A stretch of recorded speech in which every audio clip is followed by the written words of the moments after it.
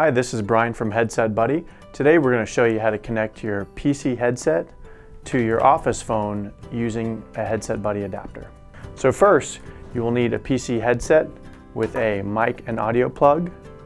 Second, you will need a phone with a headset jack.